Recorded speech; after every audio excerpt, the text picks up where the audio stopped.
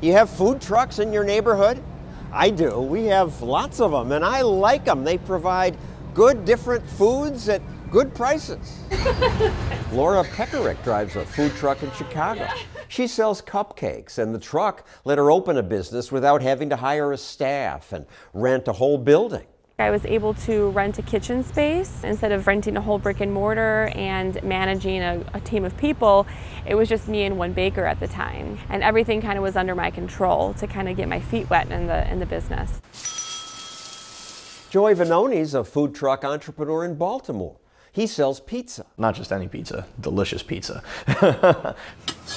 when did you get the idea to open this food truck? So I was looking around for some jobs uh, and could not find anything. It's kind of a new idea. It really started taking off right around the recession, you know, 2008 timeframe. A lot of restaurant entrepreneurs, the capital they had was not enough to actually go out and start a restaurant on their own. Banks weren't willing to give loans, so the food truck phenomenon really took off. Food trucks are just a way for people to enter. Dick Carpenter of the Institute for Justice studied food trucks and concluded they're an important part of the economy because they provide a first rung for people starting out. The costs are often much less for a food truck, so it's a way for them to get into business and then grow that business into something bigger. But new rules now make that tougher. Some cities restrict food truck sales to two hours. Others tell food trucks you may not park near an established restaurant. It became ever more difficult to find parking locations when we went to the city to try to sell our cupcakes. I would have customers calling me, trying to find us, and I was like, I'm trying, I, am trying to find a parking spot. I'll, I'll post as soon as I, as I land. Every moment that we're driving around and not parked in a location with our window open meant that we couldn't sell. Parking's limited because politicians want to protect existing restaurants. And you can't be 300 feet next to a restaurant that offers the same product. Well, there are pizzerias all over Baltimore. So that means Joey's severely restricted in where he can go. They're paying taxes. They had to use brick and mortar. Baltimore's just trying to keep things fair. Well, it's funny you say that, John, because uh, I also invested in my business and um, I pay taxes as well. So you can still run your business. You just have to stay away from those restaurants. There's almost no place left for me to operate. But we must protect existing restaurants, says Chicago Alderman Tom Tunney. I'm going to be prejudicial towards those kind of businesses because that keeps my neighborhood. A brick and mortar is a much more stable enterprise. This is a prime example of protectionism. Wait, who are these kids talking about protectionism?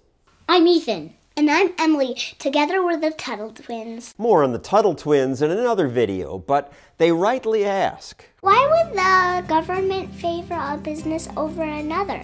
That's a good question. Oftentimes it's because one side lobbied for regulations.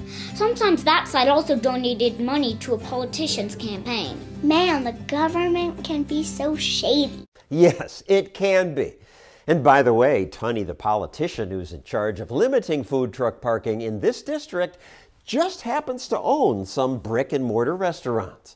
At least he discloses that. For uh, obvious transparency reasons, I'm a restaurant uh, operator in the city of Chicago for almost 40 years. They want to keep competitors as far away as possible. The guy who opened the restaurant and had to pay real estate taxes and pay for his building isn't he getting ripped off by these new guys? That assumes that the food truck operator doesn't pay expenses of the same type.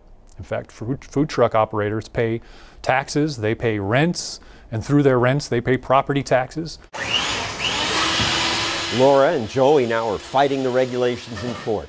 They argue it's unconstitutional to favor one industry at the expense of another. To try to push us back and down and prevent us from doing business is unfair. This case with Laura, five years and going. The Restaurant Association has so much influence over those who are elected officials. That gives existing restaurants the power to stop newcomers by imposing lots of rules. The nerve of them! That's getting in the way of new jobs. This is true of all bond bottleneckers. Yes, it is like closing a lane on the highway. Bottleneckers stop all sorts of progress. Cosmetologists take jobs from hair braiders. Optometrists ban computer eye tests. Union bus companies ban these minivans. Florists say you may not do flower arrangements without a license. These bottleneckers say they're protecting us, but mostly they collude with government to protect themselves. In this case, taking away our choices one meal at a time.